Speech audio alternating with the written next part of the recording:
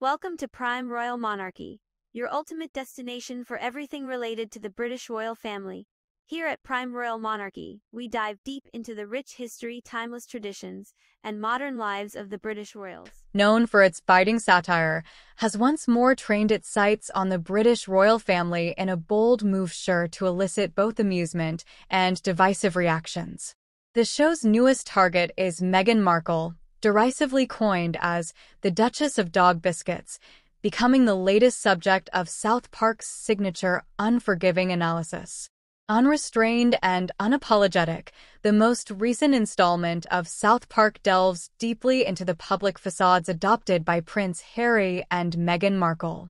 The program is infamous for its lack of respect towards societal norms and its boldness in presenting controversial topics, this instance follows suit as it portrays the duo as insatiable attention seekers yearning for affirmation. Through their work on previous episodes, creators Trey Parker and Matt Stone have established themselves as pioneers in broaching taboo subjects, a trend that persists here with equal vigor. Meghan is depicted as the Duchess of Dog Biscuits in a scathing scene that ridicules her post-royalty rebranding efforts. The show lampoons her entrepreneurial pursuits, insinuating they are just as frivolous and ludicrous as peddling canine treats.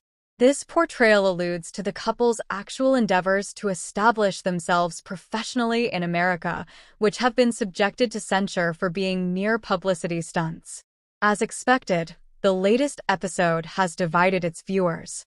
While some South Park fans admire the show's bold social commentary and appreciate that it publicly highlights hypocrisy, like Meghan and Harry's actions contradicting their claim for privacy, others have criticized the portrayal as excessively cruel.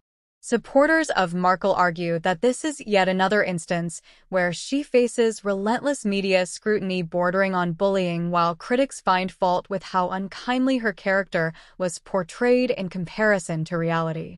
One Twitter user went so far as to say that though critique can be acceptable, South Park went too far by being intentionally spiteful towards Markle through this episode.